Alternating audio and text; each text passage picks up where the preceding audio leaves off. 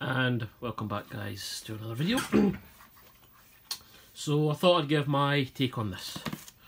This is the the 64 mini. A for want of a better term plug and play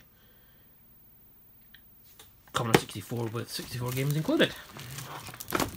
So I've had this pre-ordered since the pre-orders first became available on Amazon. Um, so let me just start by prefacing a few things. I'm very well aware of the history behind the people who've created this and their involvement with another retro gaming community product. So this has been getting quite a lot of mixed opinions online and some of which apparently my opinions are wrong and they're correct. So these are just my thoughts. So before I open this up and have a look at it, let me just show you a few things. This is a Raspberry Pi. Yes with an SD card in it that may or may not contain thousands of games. Hmm, oh, interesting.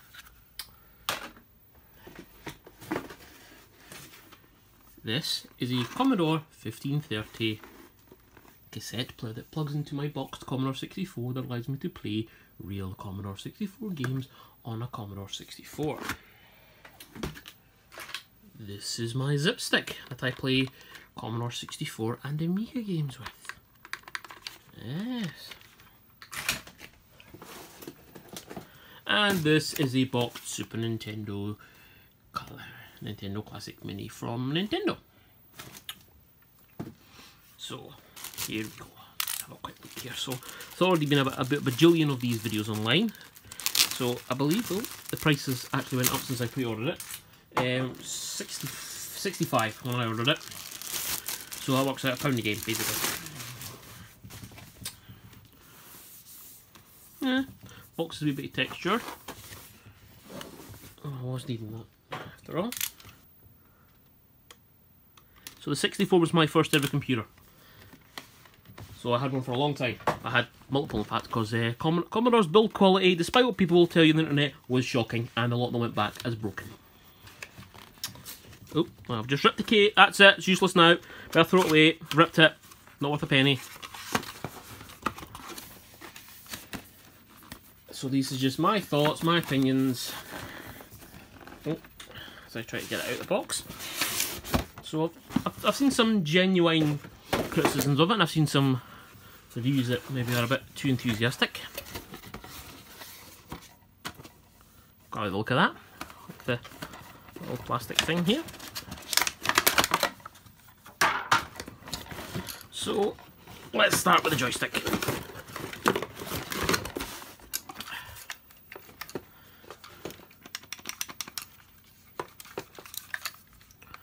Apparently the cable's too short and I can see that's a, kind of a criticism that I could probably justified. Um,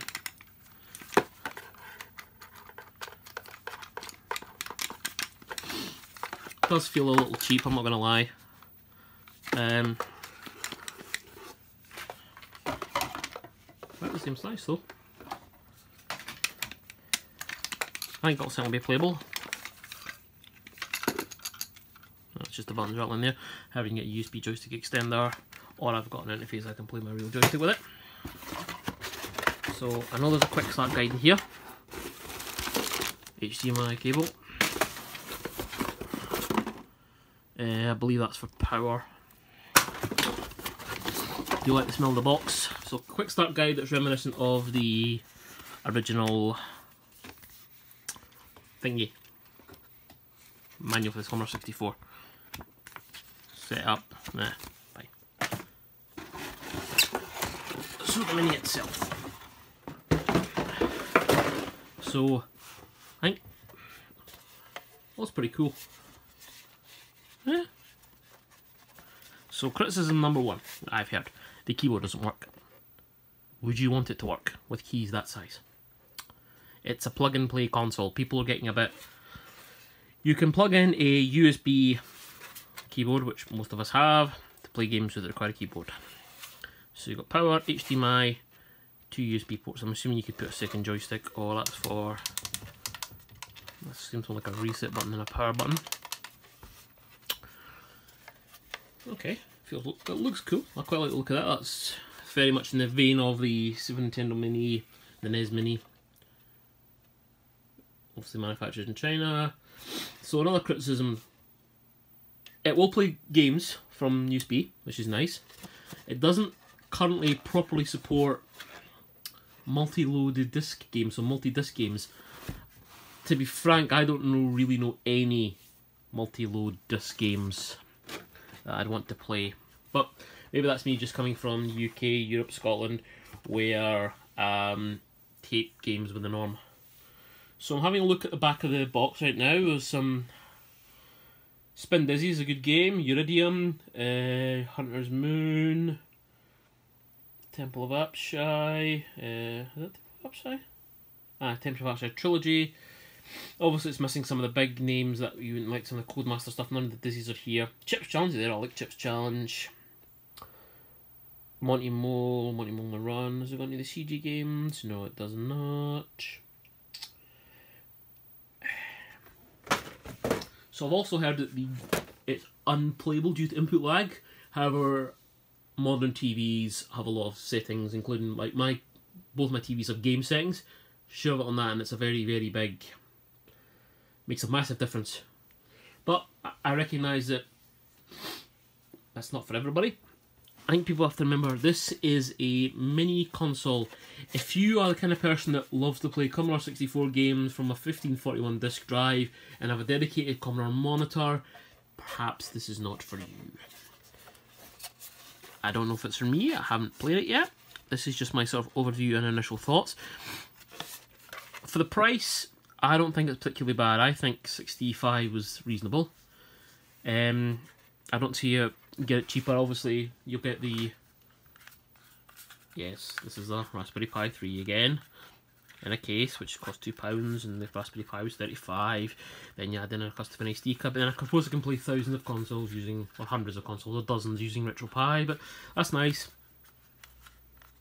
I know you can buy little thingy cases like that, but then um, anyway.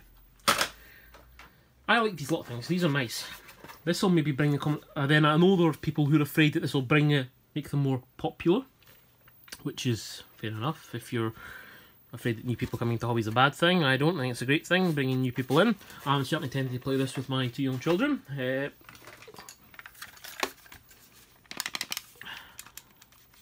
I'm assuming these do something in the game. Not micro switch, which is a bit of a shame. Didn't I'm actually half tempted to open this up and see what's actually in it. Probably a...